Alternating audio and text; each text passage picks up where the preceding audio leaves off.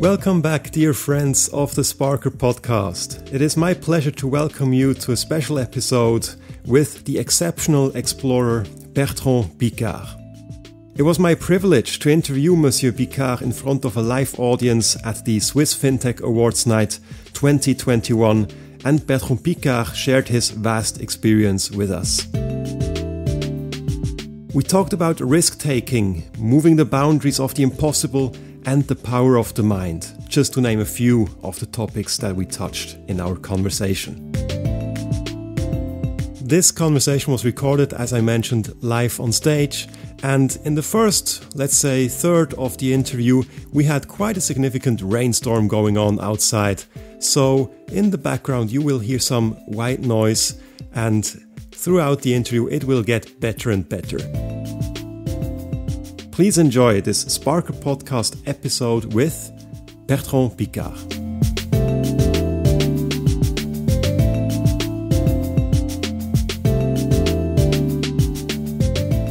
For me, it will be now a personal highlight also to have this uh, conversation with our guest of honor, which is uh, Bertrand Piccard. Of course, Monsieur Piccard doesn't really need an introduction. That's kind of um, something you say quite often or hear quite often, but I'm pretty sure here it is really the case. Uh, nevertheless, uh, you all know him as the adventurer, explorer, as the also disruptor and entrepreneur who has many world records under his belt. He had the longest flight in human history um, with his orbiter balloon, how he circulated around the Earth we also know Solar Impulse. Uh, in the last couple of years, he has also been uh, very much invested in the uh, sustainability technology area, looking for more than a thousand solutions, profitable uh, technological solutions, how you can deal with uh, the sustainability topic. And I'm very sure that there is a lot and a lot to uh, dig into and to have a conversation about. What I didn't mention that maybe not many people know he's also a psychiatrist and a hypnosis specialist. So there's so much in this person, and it will be my challenge and my privilege to use um, half an hour, maybe 40 minutes to try to dig up all the gold that is in this person. So please welcome with me Bertrand Piccard.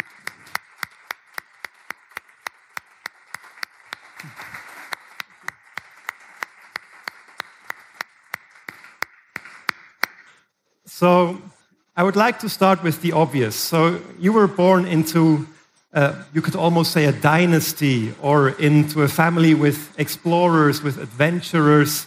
And what um, your fascination for being very high up in the air, uh, I think that fascination started very early in your life. Can you please bring us back to that time where you realized that this is your passion, the being high up in the air? It was not necessarily high up in the air, it was to be an explorer like the people I met when I was a child. You know, I, I heard the stories of my grandfather going to the stratosphere. I was looking at my father diving with his submarine and being allowed to paint a little part of the hull of the submarine, to work a little bit with my father. Okay, but this seems completely normal because it was my family and it was the only thing I could see every day. And then suddenly, my father built a submarine for an American company who was working with NASA. So the entire family moved to the US. And I, when I was 10, I was reading books about the conquest of space, about pioneering of aviation. And in the next weeks, I met them all. You know, all the early astronauts from the American space program, uh, Charles Lindbergh, uh, Jacques Mayol, all these people were exploring and doing incredible things. And suddenly I thought, wow, I'm reading these stories in the book. The next day I'm, I am meeting them, I'm meeting them, and there is no gap between dream and reality. And it gave me suddenly the impression as a child that there was nothing impossible. And also, these people, they were not superheroes. They were people who were taking the time to speak with me. You know, it's incredible. Guys who were going to the moon, And I was there talking to them, and they were explaining me what they were doing and why they wanted to do it. And this inspired me so much that I thought this is the type of life I would like to have. And I remember very well, it was in July 1969. My father made the dive in the submarine. I was invited by Wernher von Braun to look at Apollo 11 taking off. And I thought, I want to be an explorer, nothing else. Nothing else. No chance that anything else would come up um, in your career. No, but you know, you're a teenager, you want to be an explorer, and then a week later, Neil Armstrong puts his foot on the moon, and you have the impression that everything has been done. and you think, okay, I'm too late. I'm too late. I think many What's in this left? room might have this uh, sometimes this feeling that with their innovation, their disruption, ah, we are too late. Yes. But it's not the case. Now, you know what happened is that I developed a compass in my heart with a needle that was not showing the north, but showing the unknown and everything that had not yet been achieved. And this needle was just pushing me in different ways. And, uh, well, the first thing, nobody had gone down the balcony of my house with a rope. So I tried to do it and was stuck in the middle because of a, a knot in the, in, in the rope. And I was screaming, and my father had to put chairs above tables to, to, to, to take me, to recover me. And thought, okay, that's not very successful. but second time, it was a hang glider flying in the sky of Switzerland, one of the first one that was important in Switzerland. And I thought, okay, that's for me. And then microlight. In the beginning, there's a guy who called me, I got the first microlight in Switzerland. I think it's for you. So I went and tried it. And then um, a friend invited me to cross the Atlantic in a balloon. And I was not a balloonist. But he wanted me because I was a hypnotherapist. And he was afraid of this flight. you know, it's five days and five nights from America to Europe above the Atlantic Ocean. And he thought I would be his secret weapon to win the race. To manage the sleep, manage his anxiety, manage the cold, the heat. And, and, and we won the race. Yeah. And we won the race. And that showed me how great ballooning could, could be. And then I went into Breitling Orbiter project, creating this project from nothing. And well, you know, it's you, you have the, the you have the spirit, and then you adapt the spirit to everything you do. But you don't know in advance what you're going to do. I never thought I would go around the world in a balloon. I never thought I would go around the world in a solar powered airplane. When I was dreaming at 11 years old, there was no solar power to fly around the world. But you have to be ready. You have to be ready for everything. And then you, you see, you check do I like it or not? I, I think the only thing I did not try in life is drugs because I think the benefit is not enough. So I didn't try that. But beside that, I tried a lot of things and it worked, it didn't work, I liked it, I did not like it, and it just made me going through life until now. That's uh, super fascinating. I didn't know that you met all these uh, big heroes, the astronauts, as a, as a teenager.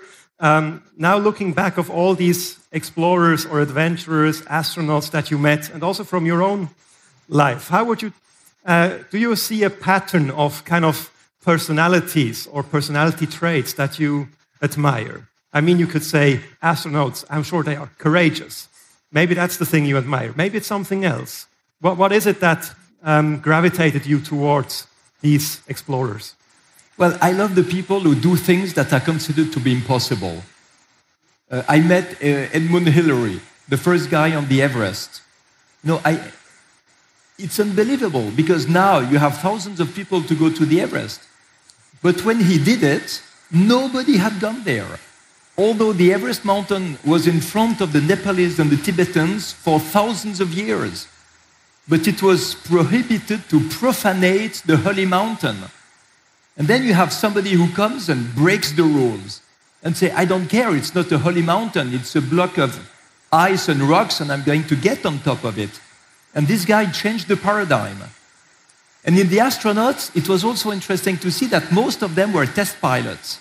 The Mercury, Gemini astronauts, they were test pilots. You, maybe you've seen The Right Stuff. It's a fantastic movie. And they, they just wanted to do the things as well as they could and so on. But my preferred astronaut, it was Scott Carpenter. Scott, Scott Carpenter from the Mercury program is the only one who admitted that he enjoyed it. you know, it's strange, but all the other guys, they went there and said, I had the job to do, I did it well, and I succeeded. And Scott Carpenter was up there in orbit, and he was telling by radio, It's beautiful, I love it, and I enjoy it. But the problem is, he enjoyed it so much that he missed the landing by 400 miles. and then he was kicked out of NASA because he was not perfect. But he was the one I preferred. And he's the guy who came for my birthday when I was 12 years old and uh, explained me all that. And I thought, wow, that's a real human being. He admits that he enjoys looking at the earth from above. The others were too much military. yeah, so it, it, sounds to me like if you dare to uh, conquer the impossible, you shouldn't aim for perfection. That's not the goal. Or you shouldn't aim for the record or whatever. Yeah. It's more about um, enjoying it, in, enjoying the, the achievement you, you have yes. achieved. Yeah. Okay. And um, when we look at this uh, moving the needle or moving the boundaries and make something that was impossible suddenly possible, uh, what, what's the fine line between somebody being a lunatic and being a visionary? Well, what happens here? First, you have to understand that the impossible does not exist in the reality. The impossible exists in the mindset of the people who believe that the future will be similar to the past, which is completely wrong because the future is always disruptive. So you need to be disruptive also. You need to be ready to believe exactly the opposite from what you have learned. You need to be ready to do things that have never been done. So you need to learn something else than what you already know. And how do you learn that? There are two ways. One is to be with people who are different from you, because they will teach you other ways to think, and they will challenge you. And instead of saying, no, no, I am right and you are wrong, you have to do the opposite. You have to think, what if they were right? What would change in my way of thinking? What would change in my life? If I start to think differently, maybe my trajectory in life will not be like this, it will be like this. And this is precisely the direction I want. And then the, the second thing is, is, is to try is to try. There are so many people who are just afraid of trying something new because people will laugh at them if they fail. So I had a big, big chance. I was lucky enough to fail dramatically once, have everybody laughing at me, and since then, I did not care anymore. People can laugh as much as they want. I learned something.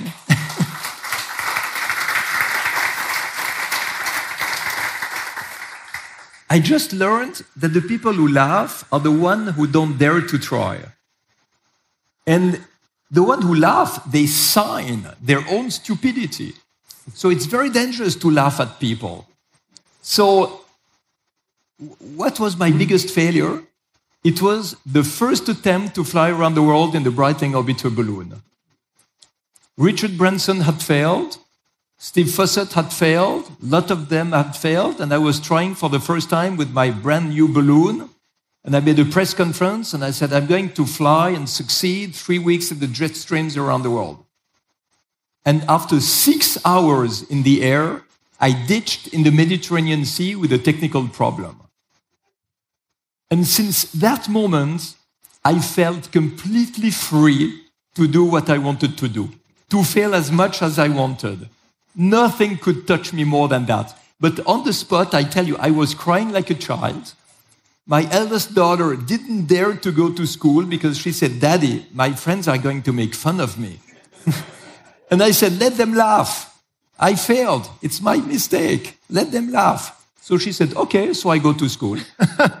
and she went and came back and said, no, no, it was, it, it was okay. No, no, they didn't laugh so much. I explained them what you did. And Yeah, well, you know, it's, it's, at the end, it's a human experience that you have to translate into your actions every day. Yeah, and I think it's very, very valuable to learn early on that it's okay to be different. It's Yes. okay to be weird, or Yes. um, that that is kind of a shield that uh, that you dare to do the impossible later on. Yeah, exactly. Uh, and uh, you mentioned now this first try with your Orbiter uh, One balloon, and you you said it yourself. You you No, failed. it was not Orbiter 1. I, no, okay, It was Orbiter. okay. Orbiter. Because we did not know there would be number two and three. okay. Yeah, that makes sense. Makes sense. So, uh, the orbiter and you had this crash. It was uh, for you um, a big failure, and you you described it as a liberating feeling. Um, how were you able to kind of maybe translate that also to your team members? I mean, everything you do is not an effort for your own. You have um, team members, somebody who also believes in the vision. And how did you, or you as a team, manage this setback or this failure? How did you get Yeah. back on track? What was the pep talk, so to speak, that you gave them? My, really, my motto was don't fail twice for the same reason. So always change something in the strategy or the technology. So because we had a technical problem on the first flight, on the second flight, I took a flight engineer with me. I took actually the guy who built the capsule. And we, we went further. But we had a problem not having the Chinese uh, permission to fly above China. So we made a world record in duration, nine days in the air, but had to land in, in Burma. So the third time, I changed completely the balloon, and I asked to the Swiss Federal Institute of Technology if they could study how to get a longer endurance. Because the longer you can fly, the more opportunities you have to take the different winds. And the EPFL told me, look, your balloon was built to be well insulated at night. But it's wrong. It has to be better insulated for the heat of the day, not for the cold of the night. And we made a completely different balloon. And this balloon could double the duration of flight. And no other competitors of ours understood that.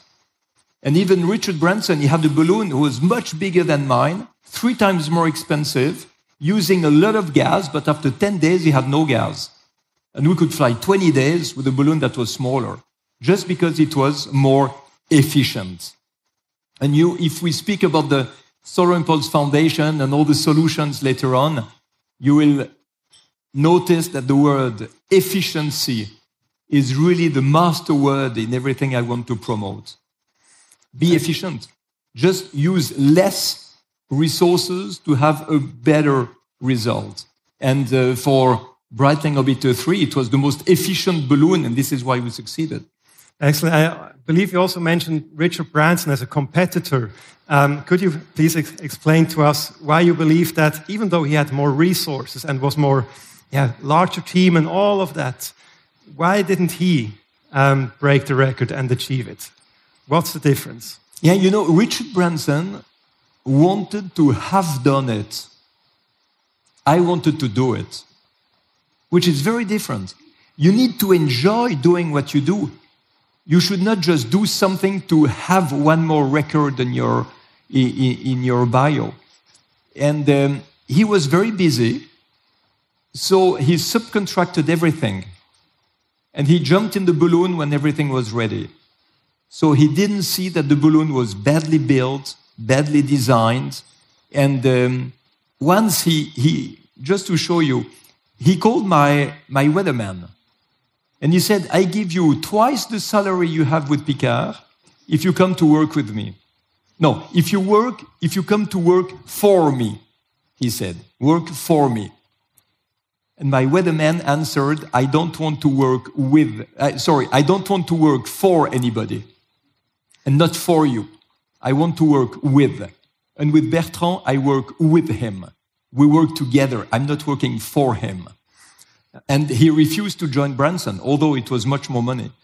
So, so the, the team spirit was made differently in, in my team. It was a smaller team. We were friends. We were working together, sharing the problems and sharing the glory. I think there's a little anecdote also hidden in your relationship with that weatherman, I believe.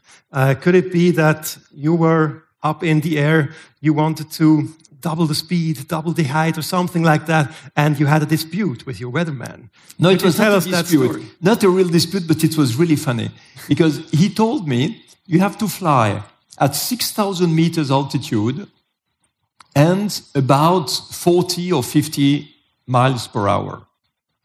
And if you calculate 45,000 kilometers at 45 miles per hour, it doesn't work with the amount of gas we had. So I tried another altitude and I found 120 kilometers per hour. And I was so proud and I called him and I said, look, you know what? I'm a really good pilot, you know. I found an altitude where the speed is almost three times what you predicted. And he told me, you know what? If you fly too fast, you're going to move in front of the low pressure system and you're going to be kicked to the North Pole. so the question I'm asking to you, so-called good pilot up there, he, he told me, is the following question. Do you want to go very fast in the wrong direction or slowly in the good direction? Yeah. And this is the first time I understood what sustainability means. This was clearly about sustainability. You can go very fast in the wrong direction and you fail, or you go slowly, but you remain at the right altitude. You just go along with a low pressure system, and at the end, you succeed. But it was not a dispute. At the end, I was laughing on the sat phone and telling, Look, you are just incredible. I will comply with what you say. And, uh, and we stayed exactly in the right direction, and we could respect the permission of China for the third flight exactly on the good entry point. You know, playing with the winds is something difficult, and Luc Trullemans was one of the best weathermen in the world. Uh, I think it's very impressive that how you explain that you have your crew on the ground, you are in this tiny capsule, in that instance, in the orbiter capsule, and even on your very successful flight, where you made the records and you achieved uh, your vision, there were these very um, difficult decisions you had to make, I'm sure. So I believe that there was this moment in this tiny capsule. I don't know if it was freezing cold or hot or just, I can't imagine to be in such a small uh, confined space for such a long time. No, it's And- easy to be in a small space when you know that outside it is minus 50 degrees. Yeah, that's pretty comfortable. You want to stay inside. You don't want to go outside, I tell you. Yeah, that's pretty, sounds pretty comfortable. yeah. So um, now I, I believe you had this moment where you were over Mexico, and ahead of you was the Pacific. The Atlantic. Uh, sorry, the Atlantic. Yeah. Um, and The Pacific, we had just done it. yeah, you went the other way around. And then the Atlantic. Yeah, true. You went the other way around. Sorry for that. So, um, you again, you had bad weather. Um, the the fuel you had left, just from simply rationally calculating it, it didn't look too good for the success of the mission. No, it was miserable. Yeah, and were- then how do you still? What happens in your mind that We you were come up? exhausted. We did a wrong manipulation with my friend Brian Jones, with whom uh, I, I was flying, and wrong manipulation with a scrubber of CO2. So there was too much CO2 in the in the in the capsule. We were suffocating. The wind changed. We were pushed at low speed to the South Atlantic, Venezuela and South Atlantic, and uh, we had one eighth of the fuel reserves to do the last quarter of the world. So if you calculate, it doesn't match. Yeah. And then we had the fax, it was fax in the time, not emails, from Steve Fossett, who said, You made a wonderful flight until now. I wish you a safe landing in Mexico. and we were thinking, Fuck you, Steve. and, and then, what, what, what could we do? You know, basically, in a balloon, your only degree of freedom is the altitude. If you change your altitude, you can find winds that have a better direction. So, although it was very, very expensive in terms of propane to climb, it was the last chance. And I started to heat up the balloon, use a lot of propane, and each time you hear, you know, this is less propane for the Atlantic. But it was a gamble to do, and we're going up, and I called my wife on the sat phone, and I said, we are really in trouble. And I was going up, I said, it's the last chance. We will see what happens. And I was live with her on the phone, really in despair. And in the last 100 meters the balloon could reach, the direction changed 24 degrees to the left. And we're back on track. And uh, we hit a jet stream that took us like a rocket across the Atlantic. So we ended up with 40 kilos of fuel left out of the 3.7 tons from the start, and it was just enough. That, Just enough. that's just, you said it, it's, But you know why we took the decision with Brian? We, we spoke about it. Because in advance, we said we are, we are explorers, we're not daredevils. So, what is the risk that we accept? We did not accept the risk to die. We both had a family. We did not accept the risk of being permanently handicapped, tetraplegic, paraplegic, or whatever. But we accepted the risk to be cold, hot, hungry, thirsty, wet, anxious, uh, to break a leg or to break an arm. That was okay. We had decided in advance. So when we had to decide to cross the Atlantic, before we hit the jet stream, we did not know if we would really reach the other side. But we were talking about it and said, we cannot imagine that we would live the rest of our life thinking we landed in Mexico. Maybe it was not the good decision. Maybe we would have had enough fuel to cross the Atlantic and we did not dare to try. So we called the control center that was in Geneva for Breitling Orbiter 3 and we said, we don't care about the fuel, we go for it. And it was the only decisions you, you could take. We were, we were not in an administration limiting the risk. We were explorers and we had to succeed. And maybe we would have ditched. Okay, we would have ditched. But it's better to ditch than to land stupidly in Mexico uh, when we could have tried to go further. yeah, when you're in this so difficult situation, facing uncertainty, risk, danger, what is it that, that helps you? Is it courage? Is it kind of um, an inner assurance, trust that everything will be okay? I could imagine that your background as a psychiatrist or a hypnotis, uh, hypnosis specialist helped very much in such a situation. Can you maybe tell us what helps in such an uh, extreme situation to keep your, your calm and your focus? I think it's not so much the courage, it's the confidence, which is different. With courage, you can go despite your fear. But what is really interesting is the moment where you are in such a bad situation that you're obliged to get all the skills and the resources from inside. And you find them. This is confidence. Is when you don't rely anymore to the outside world because the out, outside world doesn't give you the, the answers that you need. You rely because you're obliged to rely on yourself. You rely on what you find inside of you. And inside of you, you have the awareness you need. You have the concentration. You have the performance. You have the skills. Uh, you have all the memories also of the training you did. You know, if we had ditched in the Atlantic, we would have used the training we did for ditching and we would have survived. So the, the moment of rupture, you know, the crisis, obliges you to choose between being a victim or an, or an actor. If you think you're a victim, you fail. If you understand that you're an actor of the situation, then you just try to do what you have to do with the skills that you find inside of you. And it gives you so much confidence when you find what you look for.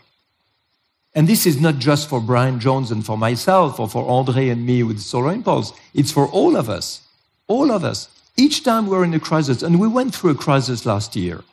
And all of us here also in finance, we all go through crises with crash, uh, financial problems, difficulties, change of regulation, political decisions, the, the end of the bank secrecy, or all these things, they're all crises.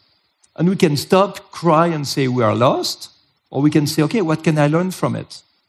And this is why I, I love to say that an adventure, it is a crisis that we accept. And a crisis is an adventure that we refuse. And it's up to us to choose. Uh, and I, I, love that, that phrase. An adventure is a crisis that you accept yeah. and, and, work with. What, what, how do you build this um, inner strength? I mean, you mentioned training, of course. That's, I think, some, something everybody can relate with. The more I train, the better I will be in facing a critical mm. situation.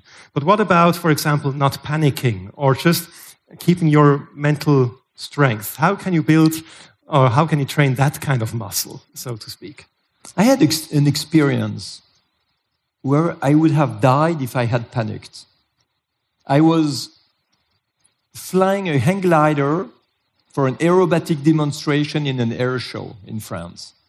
My hang glider exploded in the air.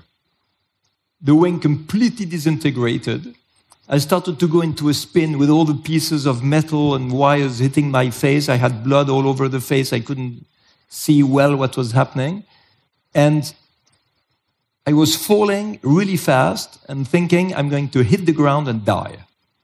And at this moment, I had a, like a moment of grace, you know, of complete awareness where I thought, okay, I'm here in the sky, I have to do something and I'm going to do it well.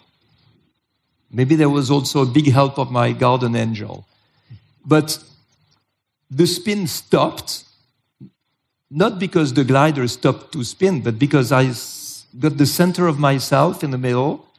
I saw not my glider spinning, but the horizon spinning, and I had the impression to be completely still. It was really a moment of pure awareness. And I found the handle of the parachute, I could throw it away, I could pull the rope to untangle it from the wing, and it opened and I could land. And that was really the moment I felt I can die or survive if I panic or if I do the right things. And since this moment on, I used hypnosis to train myself for moments of crisis in order really to be sure not to panic. So I was visualizing in a hypnotic trance what would need to be my reaction if the balloon was exploding, if there was fire on board, if I had to put the dry suit, put the parachute, jump in the middle of the night, over an ocean and things like that, in order to be sure that if the situation would really happen, I would do the right things without panic. And, and I think it's very important to visualize what we can do in the future being calm. Okay, very, very fascinating. I'm glad that you kept your calm, that you can still be here with us for this uh, very inspiring conversation, at least for me it is. Um, something that I would like to uh, get into is um, maybe you could call it a life principle. At least it's something that I believe to observe, which is on the one hand, for example, in your balloon, but I guess also with solar impulse, you, um, you need to go with the wind. You go with the flow, so to speak. That's the, the saying. But on the other hand, you are such a strong character with, a, um, uh, with willpower, with perseverance, and so on. And here you could say, here you need to kind of conquer the wind, or you need to prevail against the wind. How can this contrast come together of, on the one hand, you're completely uh, required to go with the wind, but on the other hand, you need to achieve your goal. How can you, how can you harmonize that contrast? As long as you keep the same flight level, you can never change your direction. The wind is taking you at the speed of the wind in the direction of the wind. And you cannot change it. But if you want to change your direction, you have to remember that the atmosphere is made out of a lot of different layers, which all have a different direction and a different speed. So if you want to go more to the left or more to the right, you have to fly higher or lower. In other words, you have to change altitude if you want to change your direction. And this is a metaphor for, for life. Because in life, we are pushed by the winds of life. We are pushed by so many things. You know, the, just a small virus is changing completely our life. And we cannot do anything against it except changing altitude. That means try to psychologically, philosophically, or spiritually change our way of thinking, change our way of doing. And if we change altitude in our vision of the world, we will find other influences, we'll find other solutions, other strategies, other answers that will necessarily reorient our life in another way. So changing altitude is really important. And how do you change altitude? In a balloon, you throw out all your ballast. And in life, you throw out your, certain, your certainties, your habits, your beliefs, your paradigms, your convictions, you know, all the things that keep you at the same level. So when you hear that we have to follow the people who have a lot of certitudes and strong convictions, it's wrong. It's very dangerous to follow people like this because they are on a single direction at a single altitude and they will not change anything. So it's dangerous. You have to follow people who have doubts. I'm not saying hesitations, I'm saying doubts. People who are always thinking, maybe there is, not, there is another altitude, maybe there is another way to think, maybe there is another direction that could be better. And then they challenge themselves, they challenge the team, they challenge the solutions until they find a better altitude and a better direction. And for me, this is the definition of creativity, innovation, crisis management, entrepreneurship. Even art is like this. If you want to create a masterpiece in art, you should change your altitude. You cannot be mainstream. If you are mainstream, you are just going to make a beautiful reproduction of something that already exists. But if you change altitude and you throw out all your ballast, or at least a part of it, then you will create a masterpiece. That, that notion of the paradigm shift, Yes. I, I think this is happening also with your current endeavor. Is that correct? You, I think it was once called a thousand solutions, but now you overshoot uh, the thousand solutions. Yes. You are, um, I think you're also looking for this paradigm shift in sustainable technology. Yes. And how to address the sustainability crisis. Yeah. What is happening there? Yes, the, what is the paradigm about protection of the environment since 50 years? It's about the fact that protecting the environment is financially expensive, that it is boring, that you have to threaten the lifestyle of the people. You ask them to go for sacrifice, to reduce mobility, to reduce comfort, to reduce lifestyle, to reduce consumption, to reduce growth. And this is what we hear since a long time. Does it pay out?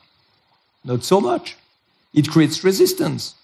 If you speak of protection of the environment to heads of states, they tell you, yes, we should do it, but it's too expensive. If you speak about it to a big business leader who has 10,000 salaries to pay at the end of the month, he says, yes, we should do it, but we cannot afford it. Okay? So change the paradigm. Make protection of the environment financially profitable, exciting, requiring no sacrifice, and offering the best business opportunities. This is the change of paradigm. So maybe it can seem completely stupid to take exactly the opposite of the mainstream, but nevertheless, this is what I did. And I launched the challenge that was just after flying around the world with Solar Impulse, just on solar energy. I launched the challenge of having the Solar Impulse Foundation identify 1,000 technological solutions that would be financially profitable to protect the environment. And here again, you cannot imagine how many people told me it was impossible. They said it's not profitable to protect the environment. And then we found 100 solutions. And I heard people who said, We made the calculation, you cannot find more than 300. Because 300, I don't know where it comes from. It's maybe the fields where there are problems. I don't know what. I, I, anyway, I didn't care. And, and we continued. And last April, 13th of April, we reached 1,000 solutions. Now we have 1,200. And because success is calling for success, we have even more, much more companies, big corporations or startups or medium sized companies who are bringing their solutions. It can be a process, it can be a source of energy, it can be a technology, a product, a material, a device. But they all actively protect the environment, they create jobs, and they make profit. And we have a certification by Ernst Young to be sure that the certification process is reliable. We have around 400 external experts who are assessing these solutions. And today we have 1,200 proofs that the protection of the environment is more profitable than the destruction of the environment. And the 1,200 proofs are of where to invest and what are the business opportunities of the century. Because a lot of these solutions, they are in a startup and nobody knows about them. And people continue to waste, to be inefficient, to pollute, to overconsume just because they don't know that technologies exist to do better. Just give you an example. When you have the chimney of a factory, what do you see coming out of it?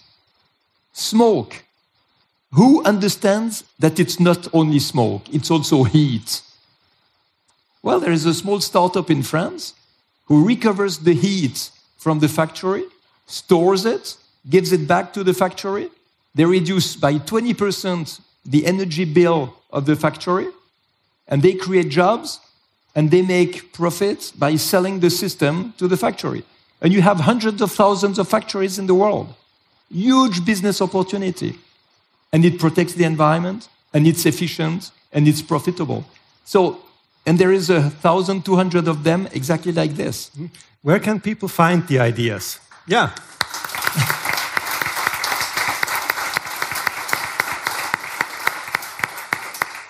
so it's a non for profit foundation.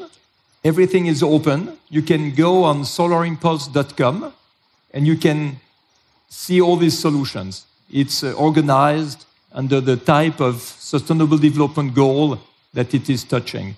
And now we're working on preparing a guide where you can ask the questions and get the answers you need. And the next uh, step is for the COP26 in Glasgow in November.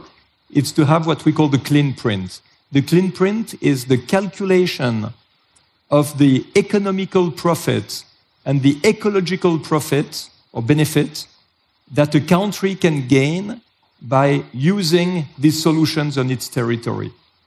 And uh, we are preparing that for Scotland because the COP26 will be in Glasgow. But we're also having this ready for big corporations, for investors, for other governments, in order to you know, to, to use these solutions because there is not one solution that will make the miracle. But the miracle is the fact that there are so many solutions. This is a miracle. And it's a bit like the piranha. The, I, I love that theory of the piranha. You know these little fish in the rivers in South America? If you go in a river and one of these fish bites you, you hardly feel it.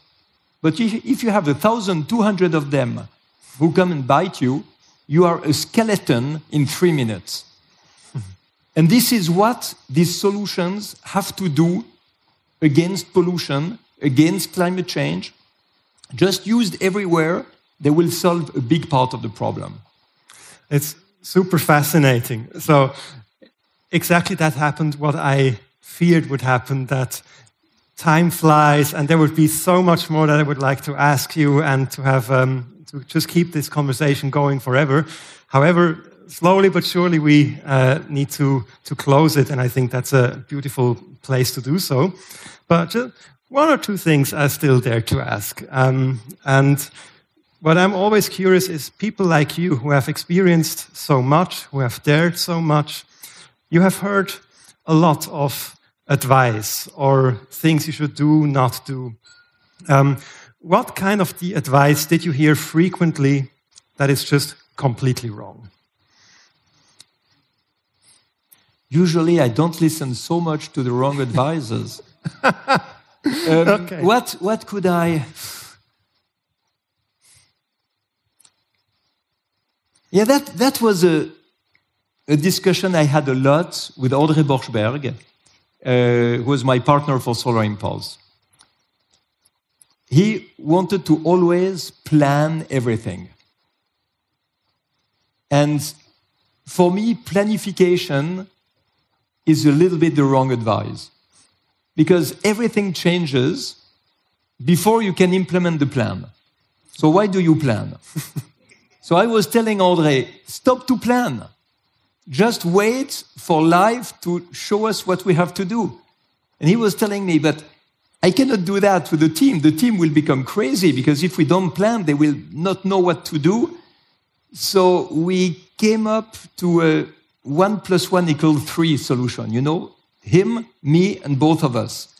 So we were telling to the team, this is the plan.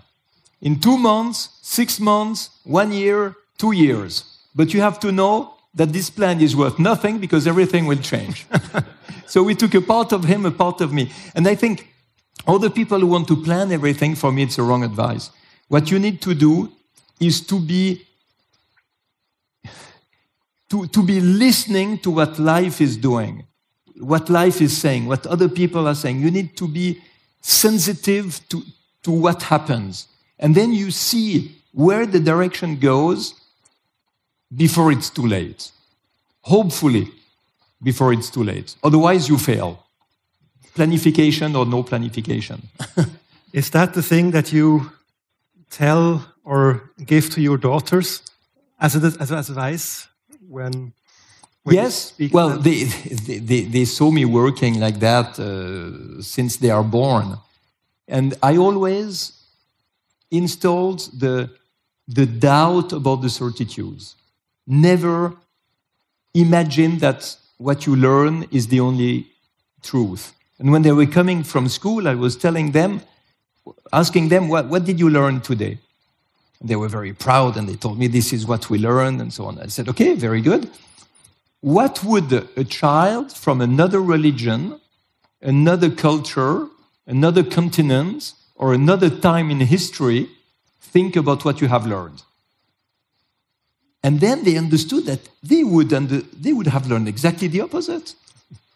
You know, it's even history is completely different if you come from Israel or Palestine, if you are French or German, if you are Swiss or whatever. History is different. The culture is different. The facts are understood in a different way. So at the end, you always have to challenge everything. And I told them, ask all the questions. Maybe this is the biggest gift I received in my childhood.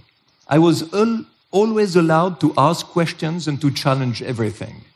So I was a nightmare for my teachers because I never accepted to do something if I could not understand why I had to do it. But it brought me to be curious, to challenge everything. And, and my children are like this, and they challenge me. And when I tell them something and they don't agree, they tell me, and we have big discussions. But the motto of my children now is pioneering spirit for life. so I like it.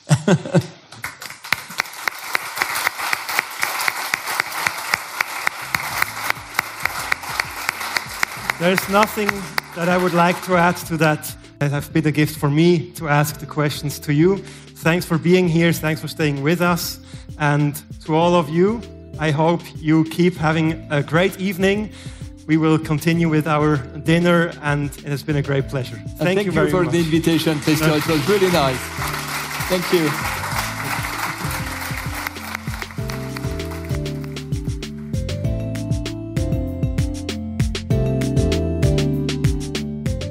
Thanks again to adventurer and explorer Bertrand Piccard for sharing his deep insights with us. For more exciting conversations with leading minds in technology, innovation, and entrepreneurship, please consider subscribing to the Sparkr podcast on Apple Podcast, Spotify, or wherever you get your favorite shows. There, you'll find, for example, conversation about how to become more creative in your work, or how to build your personal and professional resilience with tips from a leading stress researcher and psychiatrist. I'm looking forward to welcoming you back to another episode soon, where I'll uncover the mindsets, tactics, and insights of exceptional people and organizations to enable you, the change makers. It was a great pleasure having you with me in this episode. I wish you a great day and talk to you soon.